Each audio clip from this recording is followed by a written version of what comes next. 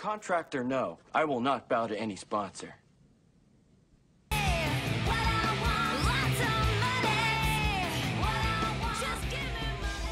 I get 20 minutes for lunch and you get 15. When I come back, you can go. Okay. What exactly is she wearing?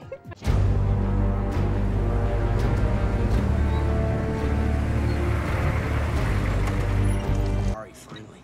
Ari, where are you? Right where I'm supposed to be. Where are you? We're at Coffee Bean, like we said. No, no, we said Starbucks, Eric. I just had the hardest day. Some days are so heavy. Jill, how did you pay for all this? I thought your dad took away your credit card. Oh, please. I memorized those numbers when I was 15.